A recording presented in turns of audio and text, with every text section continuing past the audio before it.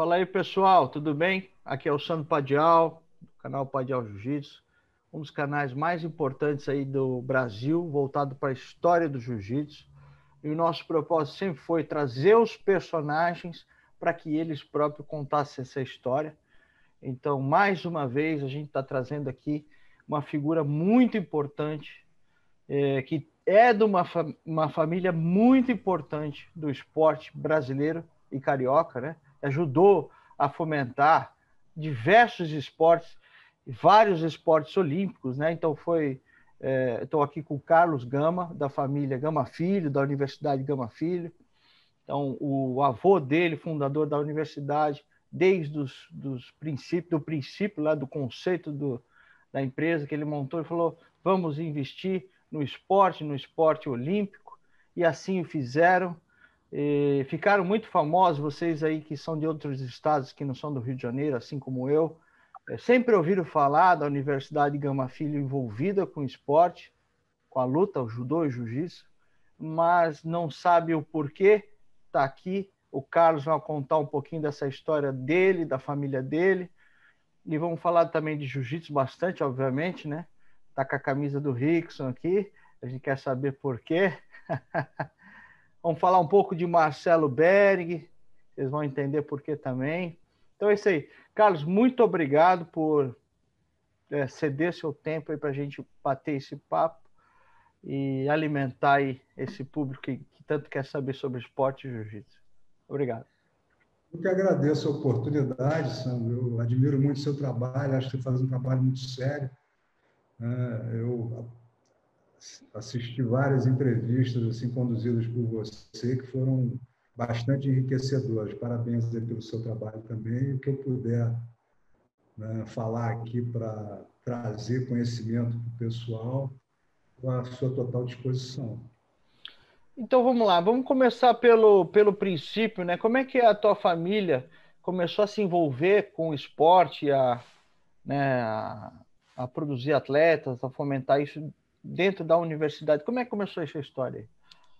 Essa história começou em 1939, quando meu avô, né, depois de uma vida de muito trabalho, assim, começou a trabalhar na construção da viaduta como ajudante de chofer de caminhão carregando um entulho em caminhão. Depois dirigiu o caminhão, depois foi garçom, foi gerente de restaurante e conheceu nos anos 30 um industrial financista, do Mercino Fernandes, ficou muito amigo dele, e emprestou dinheiro para ele concluir um sonho, que foi comprar o Colégio Piedade, que era uma sala, uma casa com quatro salas de aula, 135 alunos. E uma das primeiras coisas que ele fez foi construir uma piscina né? A Maria Lenk né?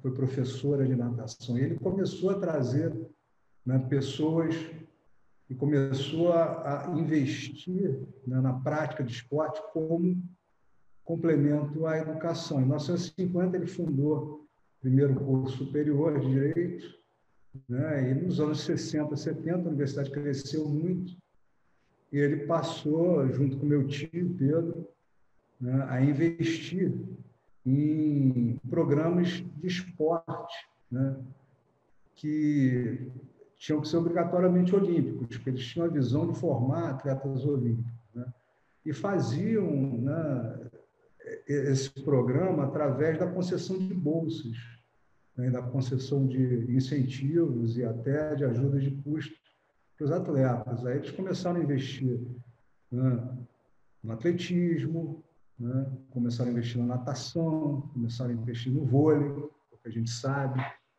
né? Que a, a seleção de prata começou ali dentro da Gama Filho. Né? A seleção, a, o time de vôlei que se tornou Atlântica Boa Vista, que depois se tornou a primeira seleção brasileira a conseguir uma medalha olímpica, né? surgiu ali com o Bebeto de Freitas e o, o Bernard Rasma na Gama Filho. Na parte de, de atletismo, né, eles estimularam demais, traziam atletas, né? Joaquim Cruz, o Robson Caetano foram dez vezes campeão da, da Copa Brasil de Atletismo. E o tio Pedro, que era apaixonado pelas artes marciais, tinha feito karatê com Tanaka, e né, ganhou uma faixa preta do João Alberto Barreto, né? do Álvaro Barreto, ele era apaixonado por jiu-jitsu e começou a desenvolver o programa de judô, porque era né, a modalidade olímpica. E aí, né, a partir assim, da, das condições que ele tinha, né, a universidade integrada a esse programa, ele passou a fazer um intercâmbio com a Kodokan, passou a, né, a ter contato direto com o Japão e a né, desenvolver lá o trabalho dele na área de judô. Depois, né, eu acho que nos anos 90, nos anos 90, ele, ele se afastou um tempo da universidade, Pedro, né? e nos anos 90 ele voltou a, a investir novamente no esporte através de um programa de iniciação esportiva que foi até a semente, a inspiração do Flávio Canto do Instituto Reação. Era um, era um projeto que eu me lembro, né, financiado, patrocinado pela Bamerindos até, né, onde na escola de educação física, que a partir até dessa relação muito próxima, né, muito intensa com o esporte, se tornando das maiores escolas de educação física do Brasil, com mestrado, com doutorado, era considerado, junto com a Universidade de São Carlos, se não me engano, as duas melhores faculdades de educação física, eles fizeram um projeto na Vila Olímpica, onde as crianças todas da área podiam vir praticar natação, futebol e judô. E aí eles davam um lanche, davam aquela escola ali de esporte para as crianças, eles, as crianças tinham que trazer simplesmente a comprovação de que estavam estudando, estavam tirando notas né, satisfatórias e tudo. E dali surgiu o embrião da GF Team. Né? O professor mestre Júlio César, que é um, um grande líder, né? grande líder aí de conseguiu resultados espetaculares né? quando o jiu-jitsu se desenvolveu como esporte de competição. Né? Então, fio da meada é mais ou menos por aí, foi mais ou menos esse o histórico aí da, da relação da universidade né? e da família com o judô e com o jiu-jitsu. É, então, né, é, sendo né, no Rio de Janeiro, um estado, numa cidade, um estado muito importante, quer dizer que fomentou o esporte no Brasil inteiro, né? Desenvolveu atletas medalhistas olímpicos, fez aí alguns esportes realmente acontecer, né? Como o jiu-jitsu, né? O judô, obviamente, tinha outras ajudas, assim como os outros esportes, mas é, o, o jiu-jitsu, basicamente, né? onde a coisa aconteceu e começou foi no Rio, né? E vocês foram parte fundamental nisso, né? É, e, a tua, e o teu envolvimento com o esporte de luta, quando, quando é que começou? É, foi pelo mesmo canal, pelo grande né, incentivador de assim centenas de pessoas fizeram uma, uma praça para ele lá na Cidade das Artes Marciais no Rio, né? E foi o tio Pedro, que com quatro anos de idade me levou para competir, para praticar e competir no judô. Ele tinha uma academia em Ipanema, chamada Academia Gama Filho, que tinha dois grandes mestres de judô, Eurico Versari e o Sensei De Luca, né? o Paul De Luca, que foram formadores também de grandes atletas e grandes lutadores. Então, eu, assim, com quatro anos de idade, eu comecei a praticar e o judô, né, ele tem uma peculiaridade que ele era bem diferente. O judô e o jiu-jitsu nessa época eram bem diferentes. Estou com 58, a gente está falando de 54 anos atrás. O judô, você tinha campeonato todo fim de semana. Né? E todo fim de semana eu competia, assim, dos 4 até os 10 anos de idade. Era, assim, realmente um, um treinamento intenso. E aí me afastei, depois saturei um pouco de tanta, né, tanta dedicação e passei a treinar né, num grupo que meu tio reunia numa academia de karatê no Leblon do Paulo Góes e do Inoc, que era Shotokan. Sim. Ele, ele tinha ali um cedido para ele pelo Paulo, pelo Góes e pelo Enoch, um tatame no segundo andar. Eu me lembro quem estava sempre lá, o saudoso que acabou de falecer de nos deixar, o mestre Leitão. Leitão. Né, dando lá orientação né, para o chão sem kimono e fazendo uns treinos duríssimos.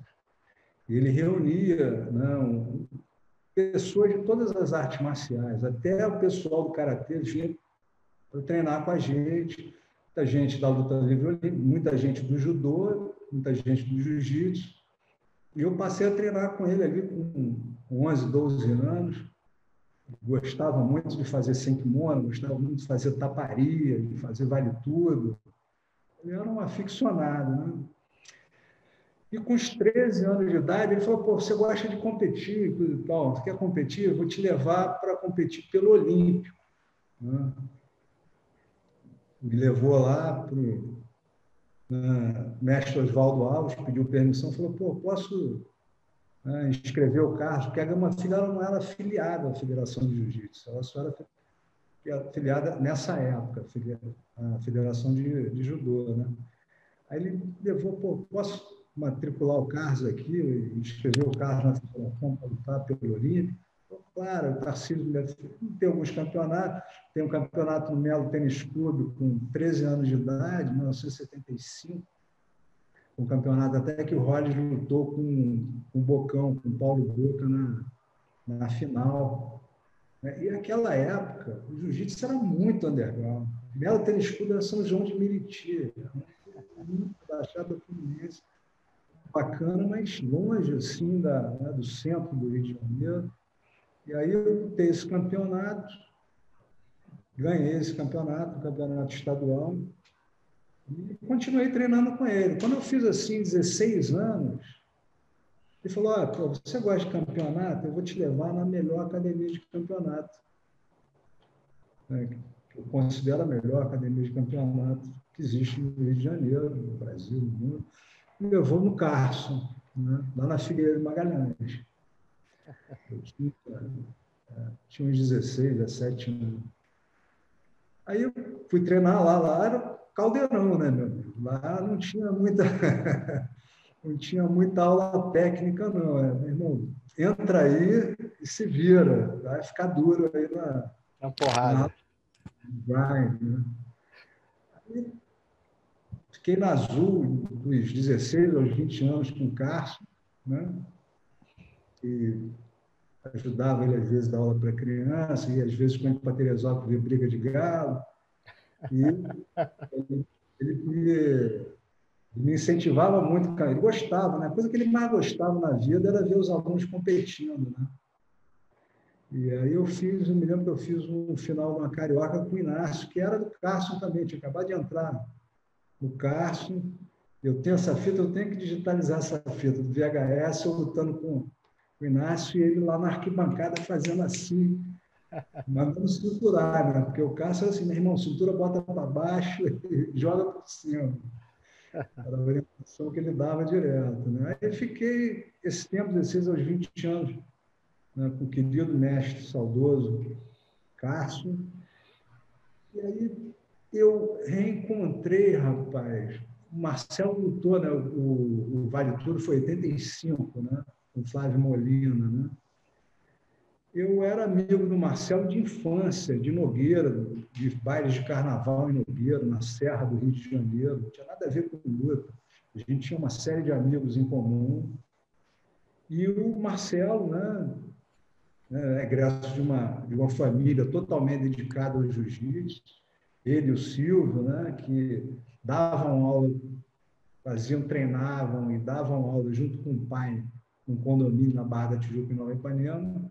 Ele começou a se desenvolver, começou a se desenvolver e conectou com Rickson. Eu não sei exatamente, mas foi foi início dos anos 80, né? tanto que ele fez a luta com Flávio Molina em 85. E aí, em 1987, eu, né, eu viajei para os Estados Unidos. Antes disso, eu acho que por volta de quando eu tinha 20 anos, 82, 83, eu reencontrei o Marcelo, o Marcelo estava muito conectado com o Rickson, estava sendo preparado pelo Rickson para ser um lutador né, de alta performance. Eles já tinham aquela visão né, de preparação, já tinham aquela orientação do Orlando Cane de fazer né, a bioginástica. Né? E aí, por conta da geração e da, da cultura, assim, onde a gente estava né, enfurnado, que era o Rio de Janeiro, Zona Sul, praia, coisa e tal, surf, a gente pegava onda, eu, Rickson, Marcelo, eu, através do Marcelo, me tornei amigo do Rickson antes de me tornar aluno dele, né? Eu fiquei amigo, assim, a gente né, passou a, ter uma relação de amizade. E aí eu, né, numa decisão difícil, porque naquela época, né, naquela época, a cultura era muito rígida, né? era muito séria. Você sair de uma academia para treinar em outra, né? o grande, grande sábio, mestre, grande mestre, Carson Grace, ele, né, foi ele que criou a, a cultura do creonte.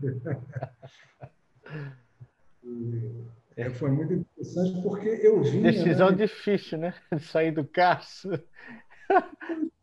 Não, foi tanto, sabe por quê, Sandro? Porque eu já vinha de uma cultura do judô. E o judô, você sempre teve a cultura do intercâmbio entre academias, entre seleções né, estaduais e nacionais. Então, você tinha uma cultura muito forte de intercâmbio entre as academias. E como eu já vinha da Gama Filho, depois fui do Olímpico, né, sempre treinei com o pessoal da Gama Filho, né, lutadores e atletas da Gama Filho. Depois fui para o Carson, né? depois já tinha uma história antes. E o Carson era uma pessoa muito bacana, muito tranquilo, né? apesar dessas brincadeiras dele de creonte, que ele estava levar muito a sério a questão de campeonato. Foi uma decisão tranquila. Aí eu fui treinar na Grace Maitá, na época que o professor Hélio ainda descia do vale, sentava lá num banquinho e ficava olhando o treino, né? e orientava, às vezes mostrava as coisas né, corrigia e ficava muito tranquilo ali olhando. Eu treinei durante um tempo ali na. Era a época dos campeonatos Company. Né? Essa época o, o professor é o Rickson. O Rorion já não estava mais, né? No Brasil, né? O Rorion foi para os Estados Unidos nos anos 70. O Rorion tem uma história belíssima que eu acho que até vão, vão fazer um. Fizeram um documentário agora sobre a criação do Pasteur, né? Eu acho que sim. Até que parece um projeto sobre a vida dele também, porque ele foi para lá, pô, lavou prato, pediu esmola, né? fez né? uma série de trabalhos de subempregos, até, até fundar o UFC. Tem uma, história longuíssima também. Mas, voltando assim, eu fui para os Estados Unidos, né? em 87, e em 87, assim, fui para estudar uma tentar entrar numa universidade, também trabalhei em subemprego, essas coisas de estudante, né? estudando inglês. E aí viajei para Bali em 87, em junho de 87. Em Bali eu reencontrei Marcelo. Né? Marcelo, assim, né? já com um status, né? de estrela, porque o que, que acontece, né? Naquela época, o jiu-jitsu ele passou a ser projetado muito por conta de um grande patrono dos esportes de ação, dos esportes radicais do Rio de Janeiro, Mauro Talbot, que foi o fundador da Company e que fez os campeonatos Company na época, que são os precursores da CBJJ, quer dizer, já, já eram realizados pelo Carlinho na época, que né, foi fundador da confederação, e foram os precursores da, IBJ, da IBJJF também, dos campeonatos mundiais. O campeonato mundial, na época, era o campeonato company. Então, você tinha né, grandes figuras como o Rickson, como o Marcelo, acho que o Cássio também, o Murilo, os grandes lutadores, o Mauro patrocinava, como patrocinava os grandes surfistas, os grandes skatistas, os grandes voadores de Azabel. Ele era um visionário que. Né? Então, na Grace Humaitá, né, você perguntou, eu respondi, a Grace Humaitá, que se tornou a Grace Humaitá, era, Grace, era a Academia Grace, era a Academia do Hélio Grace, era a matriz. Né? E o professor era o Rickson, né? o Roker, o Royler, o Robin, o Royce já morava com o Rório, foi garoto para lá, né? mas eram os quatro irmãos, Rickson, Roker, Royler e Robin, que hoje está em Barcelona, né? faz um trabalho espetacular lá, e o mestre, grande mestre Hélio, o professor Hélio, como ele gostava de ser chamado, como a gente sabe que chamava ele, sentadinho ali com o jornalzinho dele, observando o treino, né? aquela, aquela paixão, aquele amor que ele tinha pela nossa arte marcial. Isso aí, até 87, eu, eu treinei lá uns dois anos, assim, e resolvi ir, ir, morar nos Estados Unidos e tentar estudar na universidade. Eu tinha umas, trabalhava já desde 16 anos de idade, tinha assim, uma poupança.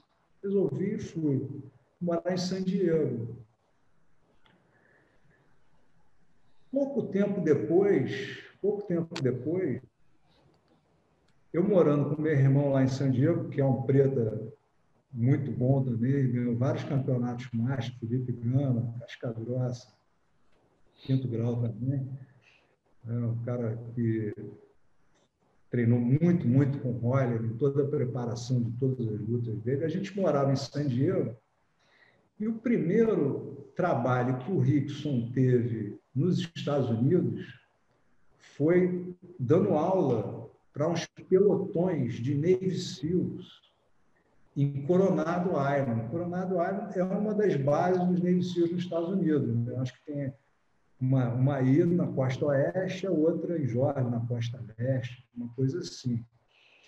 E ele, né, ele o, o arrumou esse trabalho para ele, e como a gente morava em San Diego, já era amigo dele, ele foi passar um mês morando com a gente.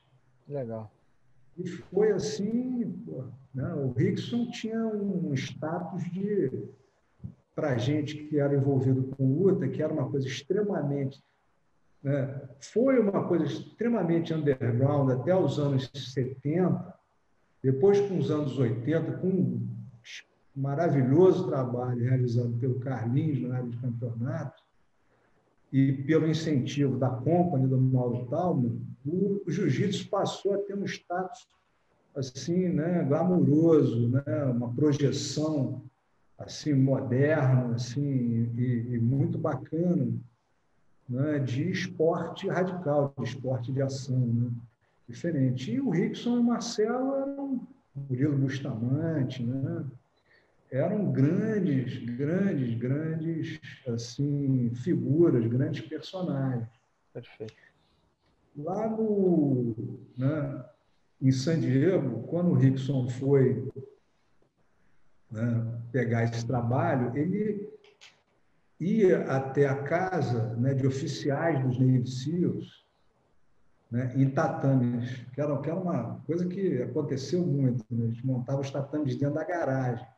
Os caras montavam tatames assim dentro da garagem, e aí ele chamava assim, uns 10 Navy SEALs para o Rickson dar aula. Né? Eu fui algumas vezes com ele, assistir, assistir no sentido de assistir e de treinar com os caras também. Eu era faixa azul nessa época e era uma pedreira, né? Os caras, assim, grande parte deles, muitos deles já tinham uma noção boa de wrestling, né? E, pô, eram caras treinados para não desistir de nada. treinados para matar, para e eu vi, assim, algumas situações, sempre tinha, né, tinham dez caras muito respeitosos, muito disciplinados, né, aquela disciplina militar, mas sempre tinha um ou dois que não acreditavam. Queria vir para pegar mesmo. Uma atitude... Eu me lembro de uma situação que o cara chegou para o treino de kimono e sapatilha de wrestling. E os caras só chamavam ele de killer. Pô, de assassino. E o cara mal encarado, rapaz, o cara com energia ruim, o cara com energia assim, entendeu? Desrespeitosa e agressiva. E o Rickson, como um grande mestre, né, rapaz, ele percebia, pô, o radar dele era. Ele, pô, percebendo, percebendo aquilo, ele, né, ele dava aula, tal, deixava o cara encostado ali. E no final ele sempre fazia isso, sempre vi ele fazer em todos os seminários e todos os treinos, né? Ele fazia para se testar, para molar a espada dele. Chegava no fim do treino e chamava todo mundo para rolar, né, mesmo? E eles geralmente escolhiam uma chave para pegar, para pegar todo mundo. Eu vi ele fazer isso com 30 faixas pretas na AXE, no seminário na AXE aqui no Rio de Janeiro. Mas esses caras, então, que não tinham noção de jiu-jitsu, estavam ali aprendendo, era muito fácil. Ele fazia com uma, ele fazia com uma, assim, uma facilidade muito grande, né? com uma leveza, com uma suavidade característica do jiu-jitsu. E quando chegou nesse cara, no killer, ele ah, botou o cara na guarda, fechou a guarda, tal, começou a atacar. O cara pegou ele, pegou pelo kimono, se levantou, tirou ele do chão assim e entrou com ele pela parede. Era uma parede de, né, de drywall e de gesso. A cabeça do Rickson fez um buraco na parede e a sorte foi que as 2x4, que eram as, as estacas de madeira que estruturavam a parede, a parede dele, a cabeça dele entrou entre duas estacas daquela. E ele, obviamente, botou o cara para dormir. Né? Ele, o cara levantou, ele estrangulou e botou o cara para dormir. Ou seja, situações assim né, incríveis. E ele foi impassível, cara, sem sem fazer uma cara feia, botou o cara para dormir, botou ali, os caras levaram ele, falou, pô, boa noite, obrigado, para a próxima aula. É isso que eu ia perguntar, e ele sem perder a cabeça? Absolutamente impassível, né? absolutamente impassível. Porque essa é, é, é, é o grande aprendizado do jiu-jitsu, né? é o grande, é a grande busca né, do artista marcial é, é você conseguir manter a calma nas situações mais estressantes, mais difíceis, mais desafiadoras. Né? Essa que é a grande busca, o grande aprendizado do jiu-jitsu, e que o Rickson tem no trabalho que ele tem realizado através da Jiu-Jitsu Global Federation, que eu tenho assim, a honra e o privilégio né, de trabalhar para ele nesse projeto, de justamente ensinar, começando, né, começando pela respiração, pelo entendimento né, do mecanismo da respiração, da capacidade pulmonar, você saber usar o diafragma para usar todo, toda a tua capacidade pulmonar. Né? O entendimento que você né, tem por instinto né, o reflexo de travar a respiração na hora que você engage, na hora que você luta. Né? É um instinto, é um é estresse. A pessoa é, é, né, é aquela chamam flight, né? é, um, é uma reação de medo, uma reação de, de travamento. Né? E quando você entende que se você ativamente né, expirar, expulsar o gás carbônico, a sensação de sufocamento ela vem pela falta de oxigênio, mas pelo excesso de car gás carbônico, quando você não troca os gases. Né? Então, o Rickson ele trouxe esse conhecimento da yoga, né, da bioginástica do Orlando Cane, e começou a, a, né, a desenvolver toda uma prática e uma técnica para a luta né, que quando você aprende, pratica, é o que mais te dá né, capacidade de lidar com os desafios da vida fora do tatame. Porque quando você entende que, através da respiração diafragmática, né, você consegue se acalmar, da mesma forma que você toma um remédio, né, para um calmante, alguma coisa assim, você consegue o mesmo efeito através da respiração. O Rickson ele praticou, desenvolveu isso, né? e passou a, a, a evoluir de uma forma. Né? Tem várias práticas, né? Ele é um cara assim, autodidata, genial, em termos de programa de treinamento, de como né, se preparar para a guerra, de como se preparar para os desafios da vida. Né? Que começa pela respiração, né?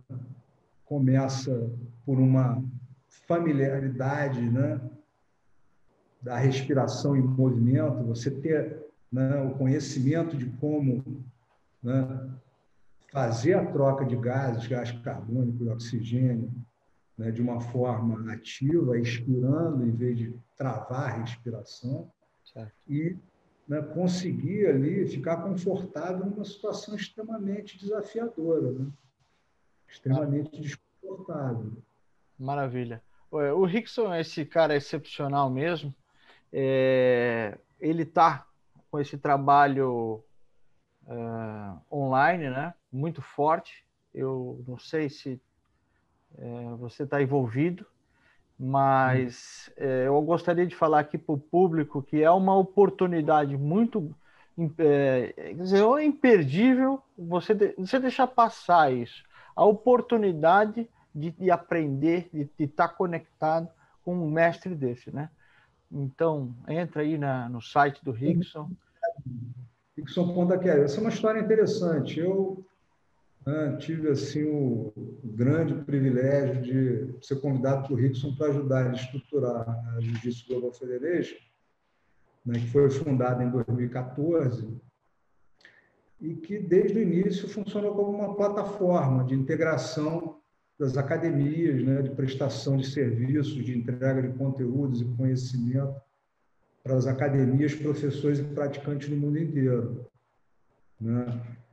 Esse trabalho ele, teve uma evolução né, assim muito intensa né, quando o Rickson se juntou ao Luca Tala, né, que vinha fazendo com o Renzo a plataforma Geller né, de ensino de jiu-jitsu. Então, ele, pela visão dele de ter que resgatar, de entender que tinha que resgatar a cultura da defesa pessoal, né?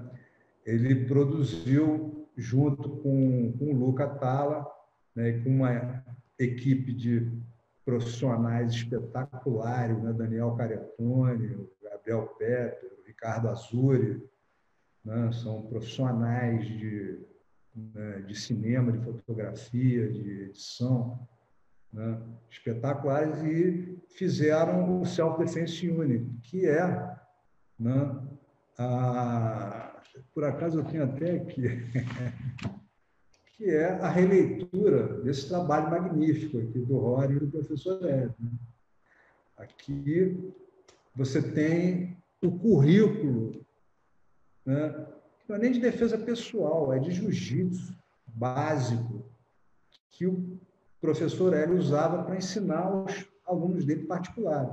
O Rickson pegou né, esse currículo, né, esse programa espetacular, que tem todas as técnicas de defesa pessoal em pé pela frente, em pé por trás, mas tem todas as técnicas básicas de chão, guarda, né, as passagens e né, as defesas, os ataques, né, 100 quilos, você atravessar do lado, chama o side control, né, as defesas, as saídas, os ataques, as, né, as finalizações. das costas e da montada. Né? Você tem ali, nesse livro, você tem todas as técnicas básicas. O que, que o Rickson fez? Ele pegou, fez uma atualização, ele tirou algumas poucas que ele acha que não. Ele fez a fusão, fez, mudou a indexação, porque em algumas posições que estão indexadas como técnicas né, diferentes, ele considerou variações da mesma técnica, ele fez uma atualização, e ele fez uma leitura de cada técnica dessa e produziu uma aula em vídeo de cada técnica dessa, apresentando né, os detalhes que ele considera fundamentais para a eficiência da técnica. Né. Bacana, hein?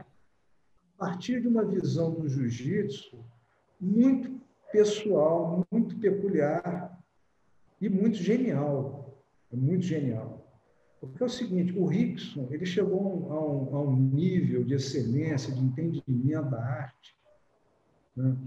que ele não te ensina só o 1, 2, 3, 4, 1, 2, 3, quanto mais menos etapas, mais eficiente a técnica. Ele não te mostra só o manual, né, a sequência de movimentos que você precisa fazer para executar uma técnica de defesa pessoal, uma técnica de defesa, de escapada, de saída, uma técnica de finalização.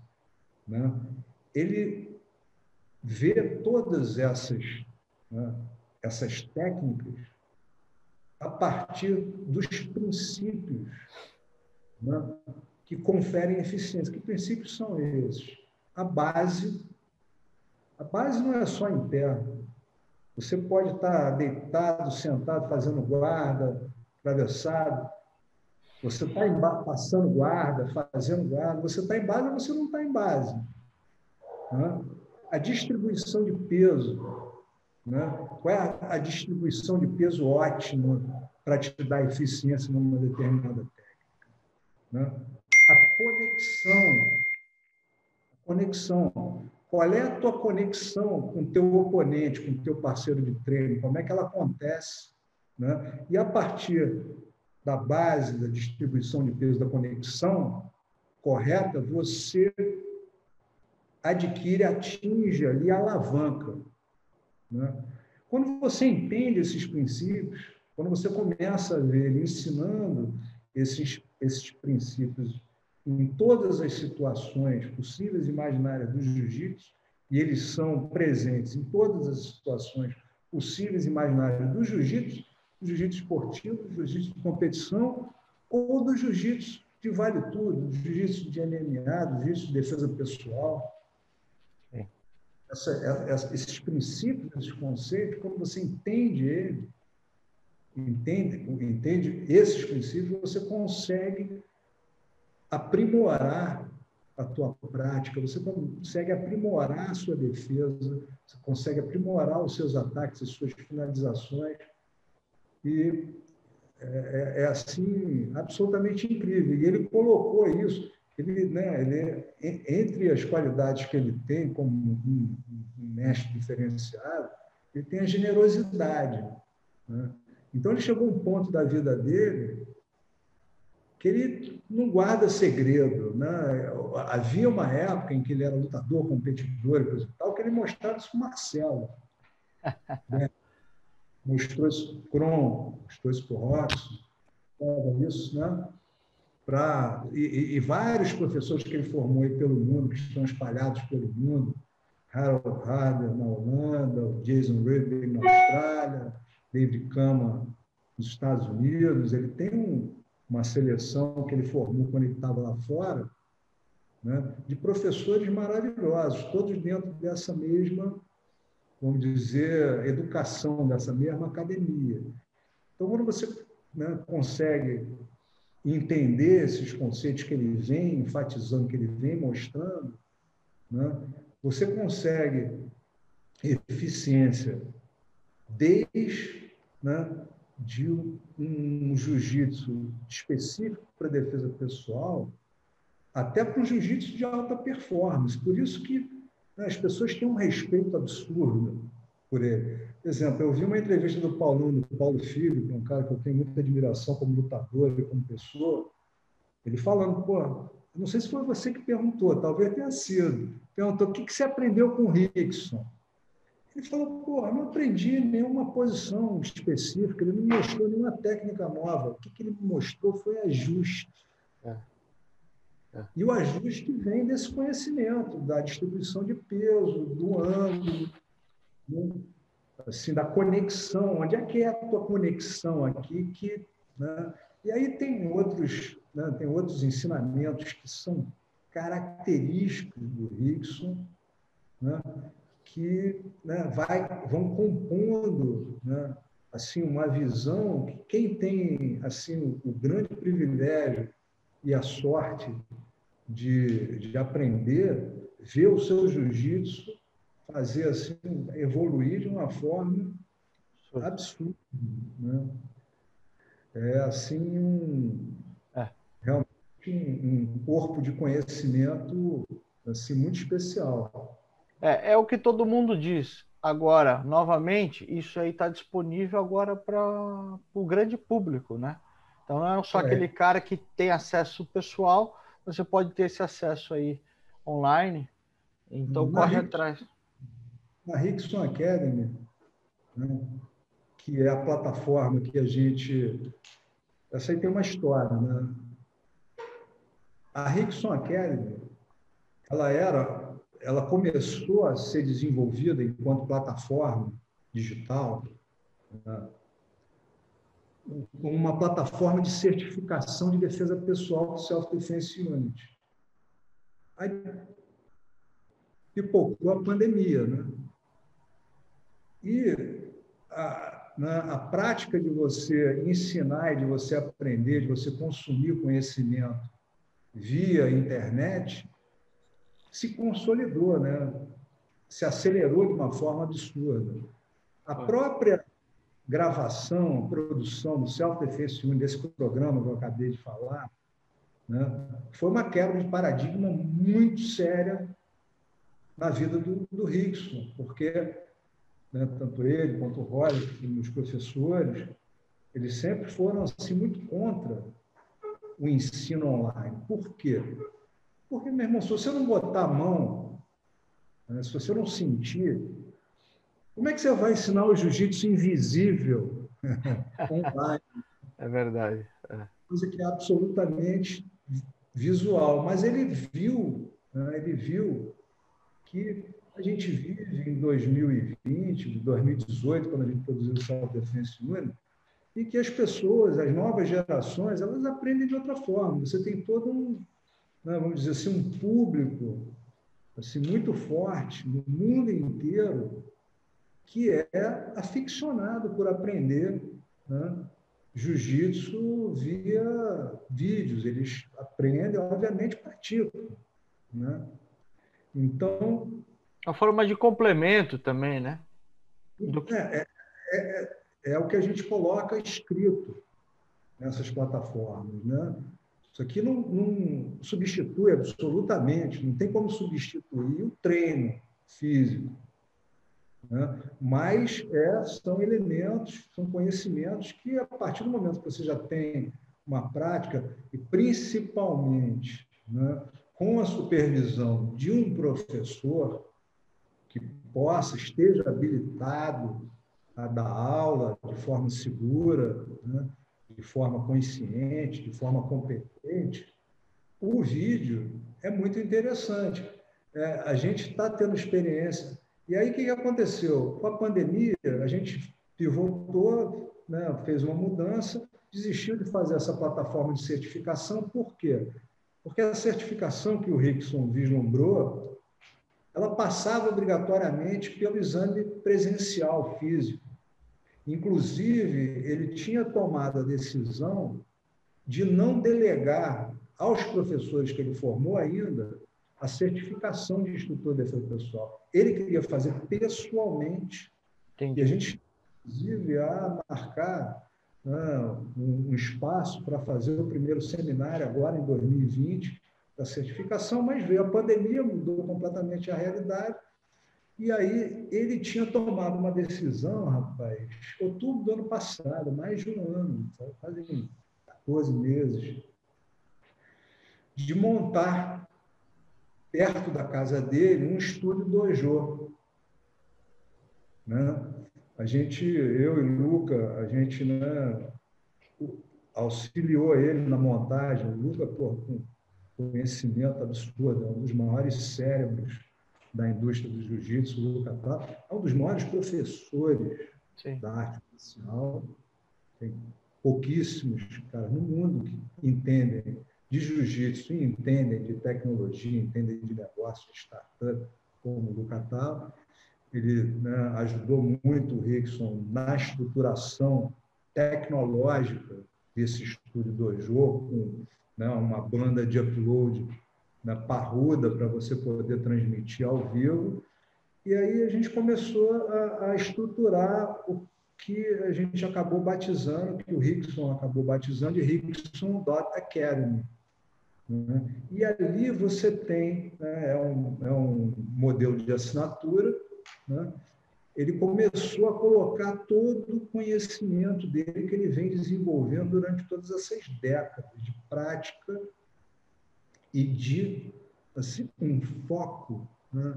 um foco assim muito, muito, muito intenso no ensino. Né? O Rickson, ele é considerado por muitos o maior lutador de jiu-jitsu que já existiu. Por mim também. Por, é mim, eu... por mim também. Mas acho que as pessoas estão começando, as pessoas estão tendo contato com as aulas dele, estão começando a entender que ele não é só o maior lutador, ele é o maior professor. Por quê? Porque é onde ele dedicou mais tempo da vida dele a dar aula, a ensinar. Né? É onde ele se sente mais feliz, é, é, é aquilo que ele né, faz com maior assim, empenho. Então, ele, né, nessa plataforma, ele colocou lá as aulas de respiração. São quatro aulas de respiração, onde começa, começa a entender o que é a tua capacidade pulmonar, como é que você respira com o teu diafragma para você conseguir usar toda essa capacidade pulmonar. É incrível, é incrível. É, eu li, ouvi outro dia um podcast sobre um, um PhD que foi campeão mundial de apneia.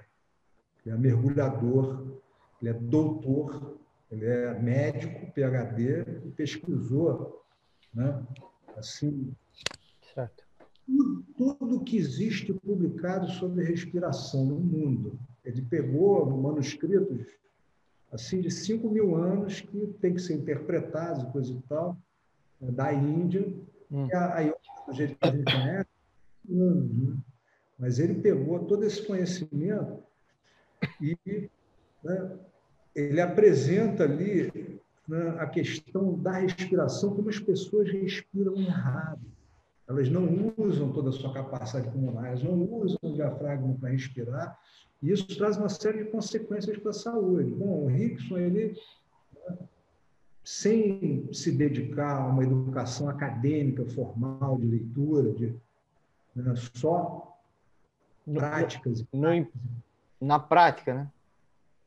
É, ele, ele tem assim uma inteligência né, muito diferenciada. Ele, desde garoto, desde de jovem, que ele entendeu que um preparo né, que ele poderia né, assim, atingir através da prática da bioginástica do Orlando Cânia poderiam transformar ele num lutador muito mais eficiente. Né? E ele conseguiu atingir uma coisa que poucos atletas, poucos artistas marciais, poucos né, guerreiros, assim, lutadores, né, entendem e conseguiram atingir, que é a questão do estado meditativo, do movimento, durante uma luta. Né? É a capacidade de tirar tudo, tudo, tudo da cabeça né? e trazer né? Eu, eu achava, por exemplo, né, eu achava que meditação era uma coisa que só existia em repouso. Né? Mas é, e aí tem a história do filme do Zé Padilha, do filme que está sendo produzido sobre a história do Rickson, sobre a história do Mitsuru Maeda e coisa e tal, que, que eu comecei a entender a partir de uma referência de um livro que o Zé Padilha usou como referência filosófica para escrever o roteiro, que é a questão dos monges zen budistas, dos espadachins zen budistas, né? que para evoluir eles desenvolviam a capacidade meditativa né? a partir da prática da arte marcial. Sim. Né? E né, isso aí é o. Né, Mas ref...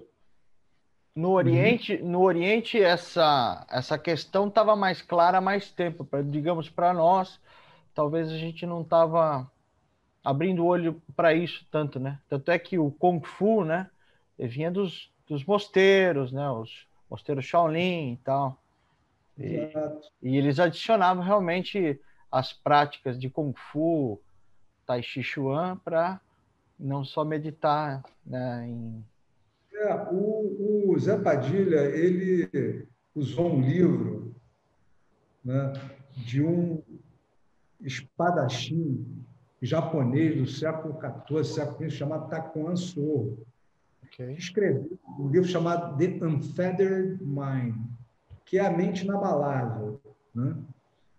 E ele escreve cartas assim, né, sobre a prática né, da esgrima japonesa, né, mas a partir dessa busca né, de uma concentração, de um estado né, meditativo, de, de você né, estar completamente conectado com todos os seus sentidos e tudo que está acontecendo naquele específico momento. Um cara que tinha isso era o Ayrton Senna, né?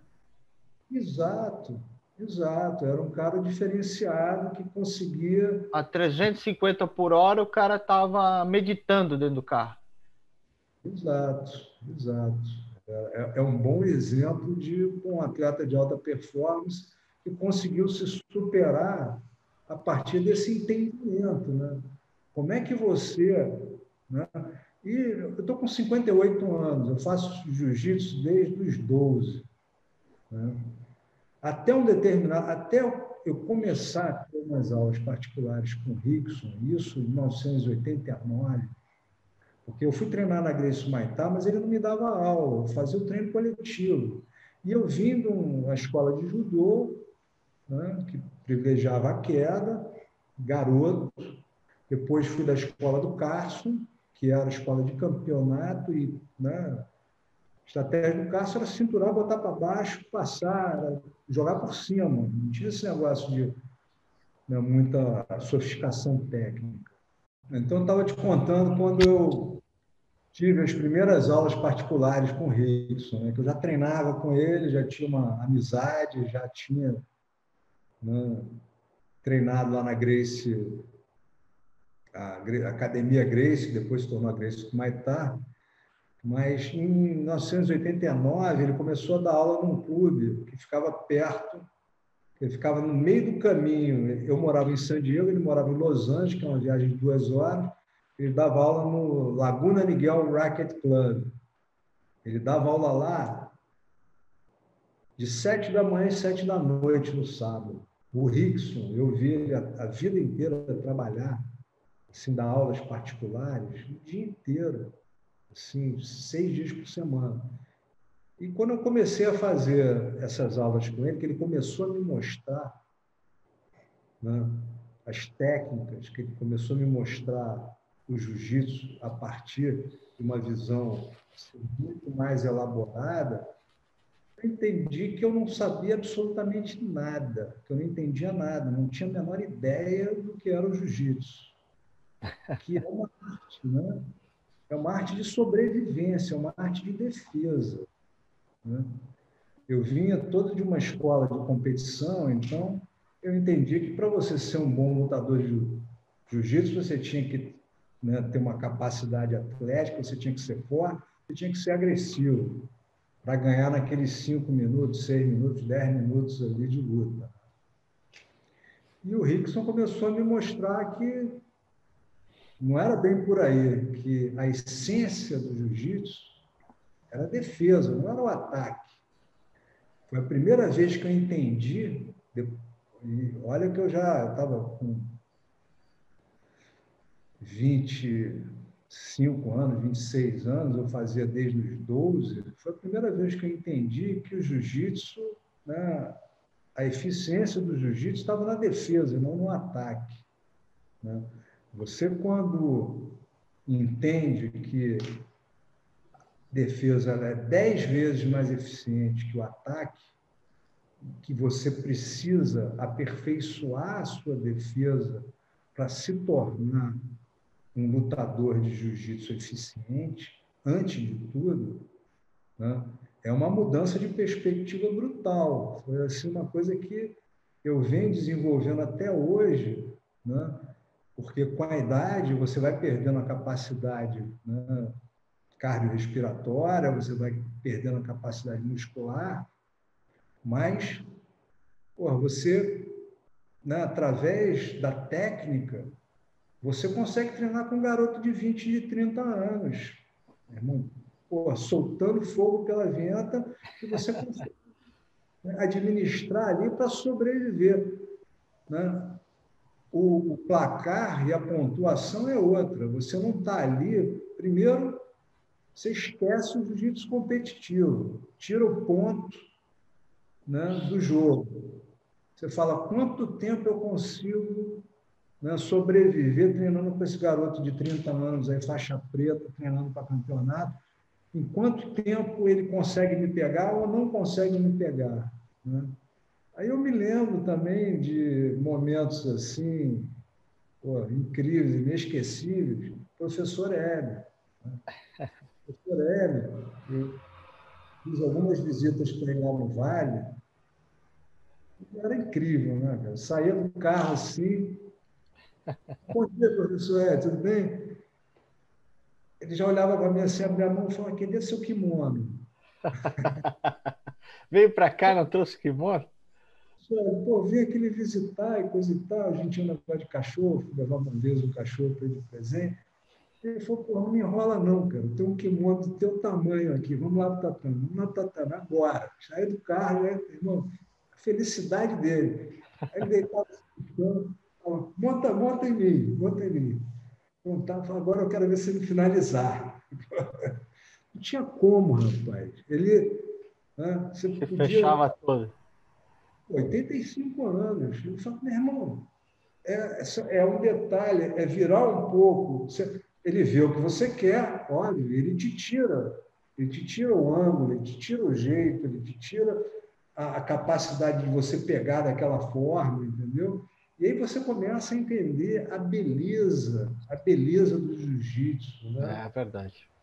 A, assim, a capacidade que o jiu-jitsu tem de ensinar as pessoas a se tornarem capazes de se defender de uma agressão, de qualquer pessoa com qualquer tamanho, com qualquer peso, né? pela simples inteligência, pela simples técnica. Né? O jiu-jitsu foi criado pelos monges budistas há 2.500 anos, lá na Índia, que não podiam usar armas né, nas suas peregrinações pela Ásia e começaram a desenvolver, então, uma técnica de defesa. Né? Eles eram magros, eles eram leves e coisa e tal.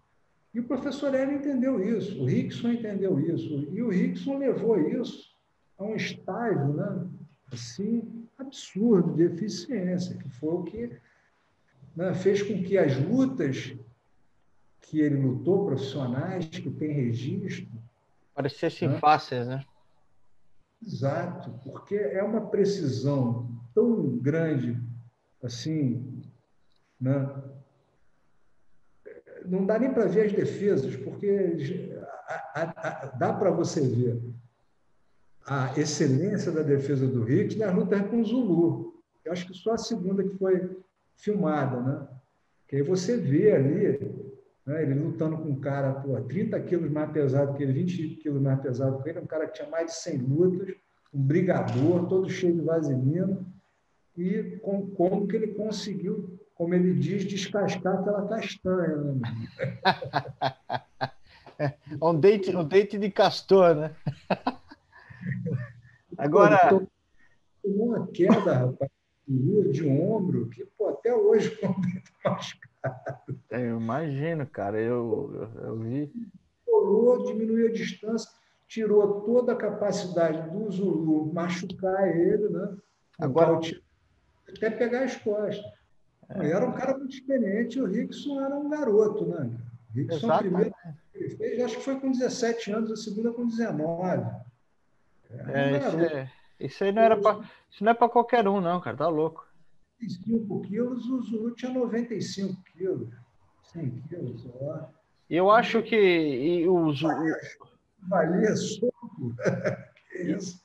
E o Rickson, no depoimento dele, ele fala uma coisa que, poxa, ele falou, cara, foi a luta mais dura minha, inclusive eu queria desistir.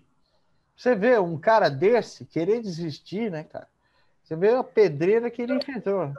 Jovem, né? Ele era muito jovem, acho que foi na primeira, né? Entre o primeiro e o segundo round, né? Ele falou: não quero voltar, não.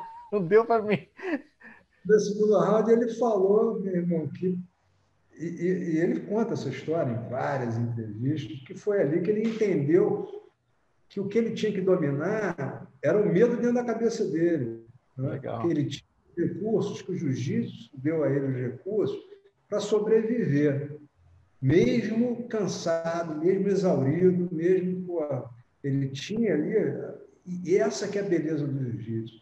Beleza do jiu-jitsu é, é, você entende, né? É interessante, né? O jiu-jitsu não é uma arte marcial que você aprende para bater nos outros, para bater em qualquer um. É neutralizar é, mesmo, né? É uma arte marcial que você aprende para não apanhar de ninguém. E que se você aprender, se você se dedicar, se você praticar, né? e não precisa ser muito, não, nem muitos anos, mas se você praticar e tiver um mestre, um professor que conheça o jiu-jitsu essencial, a defesa pessoal e tal, você se torna absolutamente capaz de se defender de qualquer um, até do lutador de UFC. Começar pelo entendimento de que meu amigo, pô, administração da distância. Se você corre para cá, eu vou para lá. Ou se, pô, se eu estiver encurralado, eu vou cinturar e vou colar meu rosto no teu peito, você não vai ter como me dar um soco. Claro. É, é simples assim. Né? E a, o nível em que o, o Rickson chegou de eficiência, o, tem um, uma entrevista muito legal do Jean-Jacques, que, aliás, eu tive o grande prazer, eu já conhecia, mas eu tive o grande prazer de ser convidado pelo Zé Padilha, que vem há um ano treinando jiu-jitsu três vezes por semana com o Jean-Jacques, para entender de jiu-jitsu e poder fazer um filme sobre a vida do Rickson, um filme sobre a vida do Rickson Maeda. Então, ele me, convidou, eu passei uns meses em Los Angeles no ano, janeiro, fevereiro, e eu fui treinar com o Jean-Jacques, que é a experiência mais próxima assim, do treino com o Rickson. É impressionante. Mas o Jean-Jacques, respondendo ao John Rogan, John Rogan perguntou para ele, o que, que você acha? Ele falando do Rickson, que o Rickson, pô, o Magic é. Johnson, né, é o cara que está em outro, em outro nível. Aí ele pergunta para o Jean-Jacques, Jean-Jacques, o que, que o, o Rickson tem de melhor? Aí ele fala, pô, na hora, na lata, assim, bate pronto. A defesa. O Rickson, né? A defesa, cara, isso aí vem desde o Sun Tzu, na né? arte da guerra. Para você invadir um castelo, né? se você tem 100 guerreiros ali, você vai precisar de 500 guerreiros, porque os caras estão encastelados. Hum. Estão ali numa postura e numa estratégia de defesa. Você tem que entrar lá dentro. É, como o Rickson disse, você tem que descascar a castanha. Né? E, e, e, né? a defesa ela é interessante porque para você chegar a uma finalização, você tem que chegar ao controle absoluto do cara. Você tem que controlar a quadril, controlar a cabeça. É por, por isso que a finalização na montada é mais fácil. Por isso que a, a finalização, quando você pega as costas, é mais fácil. Você está controlando a pessoa. Né? Quando você entende isso, quando você entende o que, que o cara precisa para chegar a uma chave de braço, o que, que o cara precisa para chegar a uma gravata, a um estrangulamento, para pegar suas costas, para você se torna capaz de mudar né, aquela trajetória ali, aquela movimentação, aquela dinâmica, de forma a não dar a capacidade do cara dar aquele um, dois, três, quatro passos. Então, a, a defesa é sempre, sempre dez vezes mais eficiente que o ataque. Uma questão simples. Né? Para você dar um nocaute num oponente, você tem que estar com seus dois pés plantados, você tem que estar na distância certa, você tem que girar o tronco e o quadril para botar peso na pancada e pegar né, numa área da cabeça que vai apagar o cara. É dificílimo. Para você evitar tomar um nocaute, você só precisa fazer uma esquiva. Você pode bloquear. Você tem 20 formas de você evitar um nocaute, um soco. Você só tem uma forma de dar um soco. Claro, você tem o gancho cruzado, o uppercut, coisa e tal, você tem as trajetórias coisa e tal. Mas para você acertar um soco né, que nocauteia, você precisa de uma série de elementos que, quando o cara ele, ele conhece, até no boxe, né, a defesa, no Muay Thai, no kickbox, ele precisa de muito pouco para defender. Por isso que a gente vê as grandes lutas de, de boxe com 10, 10 rounds, meu irmão. E dificílimo acontecer um nocaute. Só quando o cara começa a ficar cansado, ele começa. Né? Aí você tem todas as estratégias, bater na linha de cintura, para o cara perder o gás, coisa tal, o cara ficar lento, coisa tal, o cara toma um nocaute. Mas se é numa situação real, numa situação de confronto, né? tirando aí do esporte, da, de alta performance, né? de boxe, de MMA, disso, daquilo, né? A defesa pessoal, a defesa do jiu-jitsu, né? ela, ela é absolutamente eficiente, ela é absolutamente perfeita, porque... Né? Agora, agora é, uma pergunta, uma curiosidade. Como é que era o Marcelo e o Rickson lutando? Pegou isso aí algumas vezes? Cara, eu vi, eu vi os treinos dele, alguns treinos dele, poucos, porque nessa época eu trabalhava muito e eles tinham uma vida de atleta, né? assim, que eles se dedicavam, treinavam duas vezes por dia, dormiam né, para descansar e coisa e tal, mas era um fluxo, né? Era um fluxo, assim, né? A palavra mais era flow, né? Era uma coisa assim onde eles, né? eles jogavam, e é como né, como os grandes lutadores de jiu-jitsu treinam, né, é um xadrez, mas de uma maneira muito, muito fluida. Né? Entendi. E quando, né, quando a coisa começa a esquentar, quando eles né, querem né, subir o nível do treino, sobe-se a velocidade. Né?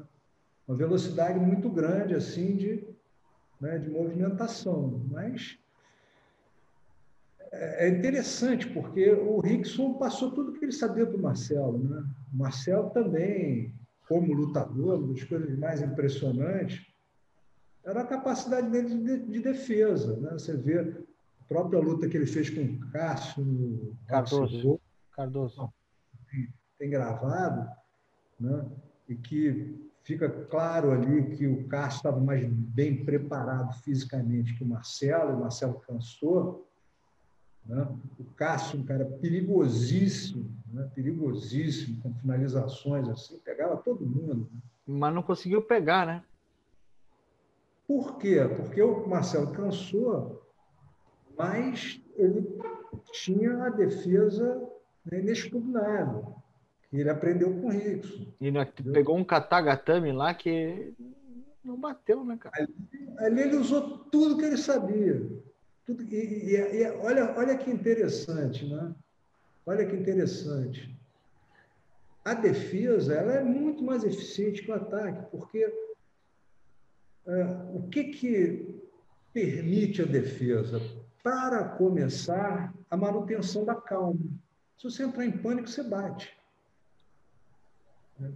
Passei por uma situação agora, esse ano, muito interessante, que eu cheguei na casa do Rick para viajar, para visitar ele, ele falou assim, quer dizer, eu falei para ele, falei, mestre, pô, queria te agradecer pô, pelos ensinamentos, porque por eu ter tido essa oportunidade de trabalhar com você, de estar te ajudando a produzir né, esses, esses programas e a organizar o teu conhecimento e a distribuir seu conhecimento, eu estou sentindo porra, que meu jiu-jitsu está evoluindo eu com 58 anos de idade. Eu estou sentindo porra, meus resultados melhorarem, tanto na defesa. Ele olhou para mim assim. Falou, é mesmo? Eu falei, é, mestre. Ele falou, então tá bom, então vem aqui me mostrar. cirurgia. Só feito uma cirurgia dois meses. Meu irmão, é um, porra, é um trator, cara. É um trator assim, porque ele, ele, ele vai ancorando uma passagem de guarda, ele vai te tirando completamente o jeito de ficar confortável. Vai né, tirando o teu eixo, né? assim, com a distribuição, sem muita movimentação, sem muita pancadaria, sem nada, mas só na distribuição de peso, na alavanca que ele vai achando ali. E, obviamente, ele acabou montado e pô, me pegou num, numa gravata com sem kimono, calção, sem kimono. E ele apertou aquela gravata ali e eu né, pô, fiquei ali com a coisa. Eu aprendi com ele, manter a calma e botar o canudinho, tentar respirar para não apagar. Aí ele demorou, ele pô, ficou ali, ele queria pegar no estrangulamento, aí ele pá, pegou o braço. Aí ele falou assim, pô, primeira vez que ele me elogia em 30 anos. Pô, não, teu jiu está melhorando mesmo. Tu não entrou em pânico ali e ficou respirando. E foi isso que aconteceu naquele katagatame com o Cássio. Foi o que ele é. aprendeu. O Marcelo aprendeu com isso. Entendeu? A primeira coisa na vida, a primeira coisa numa luta, a primeira coisa quando você se vê numa situação de desvantagem, né? a primeira coisa que você tem que fazer é manter a calma.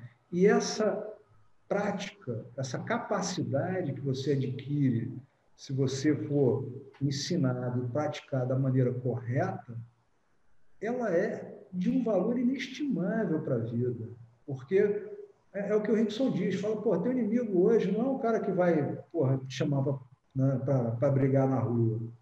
Teu inimigo, ele chega num e-mail, porra, num desafio, ele chega porra, num, num WhatsApp, ele chega Hoje é o vírus, é o inimigo invisível, né? Como é que a gente lida né, com o pavor do, de, de, pegar uma doença e ter uma evolução ruim, né?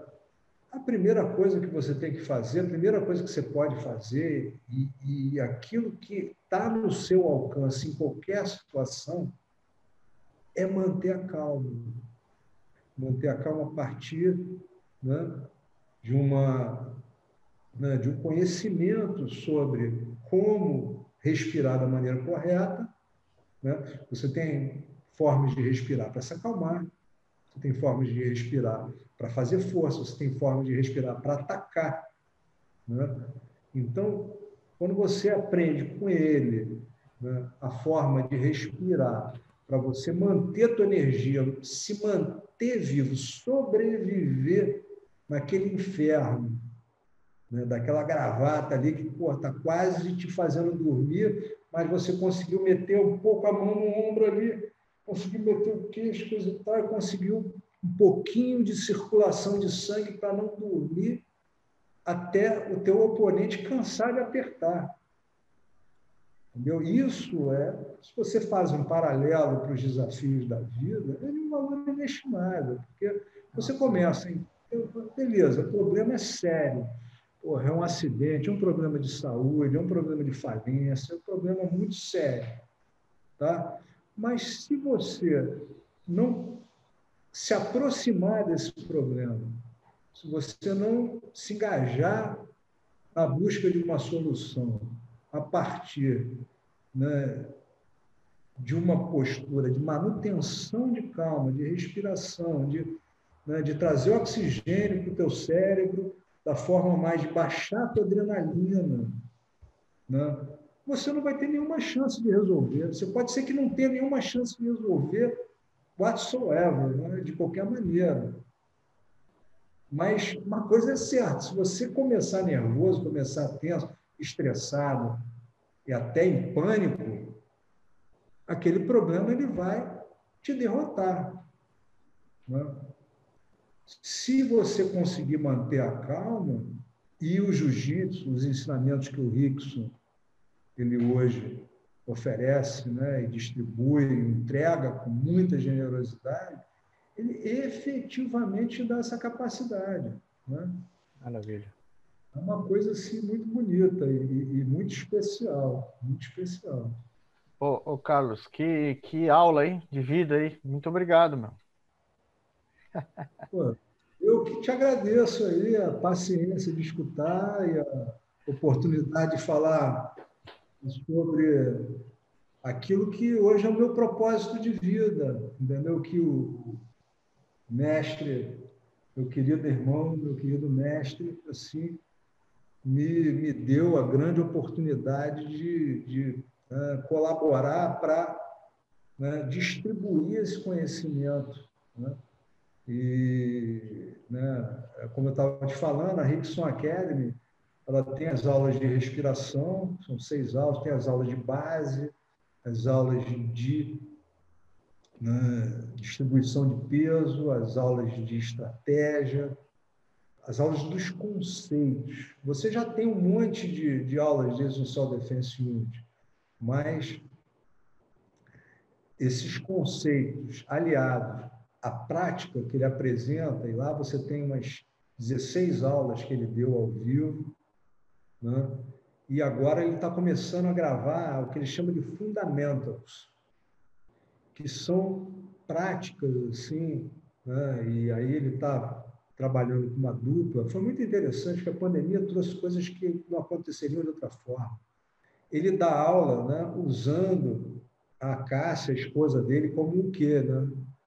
Como parceiro. E isso é muito legal, porque as pessoas veem né, que uma mulher tem total capacidade de aprender ali né, como se defender, como usar a alavanca, de como usar a distribuição de peso, como usar né, a conexão de maneira correta para se defender. E agora ele está usando a caça com outro aluno, com faixa roxa, né, que ele selecionou lá e está fazendo as aulas dos fundamentos que é a aplicação desses princípios né, em situações assim de, de luta mesmo. Né? É muito interessante. Bacana aí, pessoal. É imperdível mesmo. E, e é isso aí. Eu, eu sempre digo, né? Você falou, pela paci... obrigado pela paciência em me escutar. Para mim é um prazer. É, eu amo isso aí, escutar, porque eu acho que dessa forma a gente aprende muito, né? Então eu aprendo muito assim. Então para mim é, realmente é um prazer e, e eu aprendo muito jiu-jitsu escutando aqui. Daqui a pouco eu vou treinar, eu vou usar tudo que eu aprendi aqui. Assistir, se você conversar com grandes mestres, que não é o meu caso, o mestre é o Rickson, mas eu né, tive o privilégio de me tornar um canal, de me tornar um soldado né, para transmitir esse conhecimento valiosíssimo.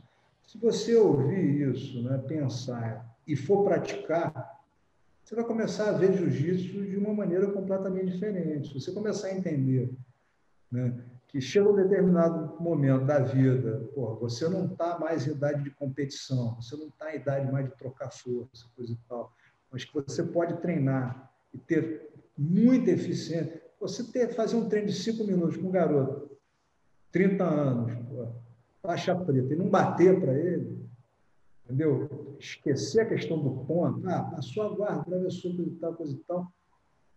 E, inclusive, né, é interessante porque para você aprender a defender, você tem que passar por situações que, se você for muito competitivo, você não vai passar. Tem lutador que, pô, ele não pega as costas dele nunca. Quando pegar, como é que ele vai saber sair? Como é, é que isso, ele vai saber? Isso é interessante, esse ponto de vista é muito bom. É, se, se deixar viver experiências, né? É, se você é super competitivo e não deixa ninguém montar em você, saber fazer o UPA, a saída de cotovelo, as saídas de, de montada, elas são muito eficientes. Você aprende, nunca mais ninguém monta em você. Agora, se você não deixa alguém montar, como é que você vai aprender? Quando o cara monta, que o cara sabe montar, sabe distribuir o peso, sabe atacar, né? como é que você defende? Qual é o momento ali que você se movimenta né, para escapar e não deixar o cara finalizar? É, é interessante, porque quando você começa a pensar nisso, isso abre a porta para você evoluir no jiu-jitsu o resto da vida. Claro. É o que o professor ele fazia comigo. Chegava, chegava para mim, pô, monta aqui, quero ver se ele finalizar. Não achava nunca o ângulo para conseguir tentar nenhum tipo de golpe, porque ele estava vendo dez passos na tua frente, que você precisava. Incrível. Aliás, o professor me ensinou uma coisa muito valiosa também, que vou fechar com essa lição. Né? Eu fui uma vez, ele me chamou para treinar com um aluno dele, eu era faixa marrom, o aluno dele era faixa roxa. Depois que eu acabei o treino, ele bateu no meu ombro assim, chegou e falou, pô, tu tá pô, com uma técnicazinha boa, tá se movimentando bem, coisa Mas deixa eu te falar uma coisa, meu filho quer aprender o jiu-jitsu mesmo, tem que parar de fazer força. Falei, é mesmo, professor, é, você faz muita força. Você até está com um jogo legal, coisa e tal, mas você faz muita força. Agora, deixa eu te falar uma coisa, cara. Para você, você parar de fazer força, você tem que fazer uma coisa. Toda vez que você for treinar, pega e bota seu ego no bolso. Porque se você parar de fazer força, você vai bater muito, até você aprender a se defender sem fazer força. Uau! E isso mudou a minha vida. Mudou a minha vida, porque se você pensar bem, Sam, botar o ego no bolso é o exercício mais eficiente que você pode fazer na relação com o mundo. É verdade. Quando você bota teu ego no bolso, você capacidade de ter empatia, você tem capacidade de se colocar no lugar do outro.